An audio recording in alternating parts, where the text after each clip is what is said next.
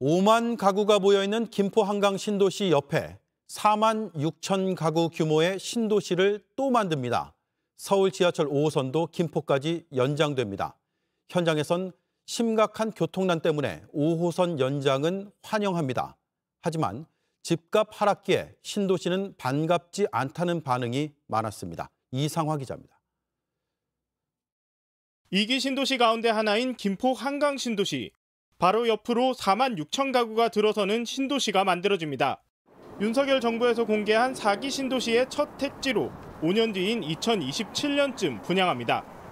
다 지어지면 김포 한강 신도시의 기존 5만 가구와 합쳐 10만 가구, 분당 신도시와 비슷한 규모입니다.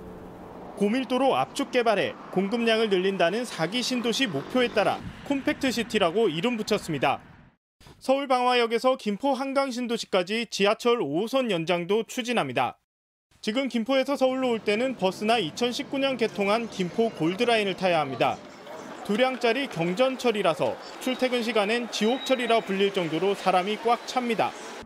민원이 워낙 많자 지난 대선 때 윤석열 대통령이 직접 골드라인을 타는 체험을 하기도 했습니다. 시민들은 지하철 연장을 환영합니다.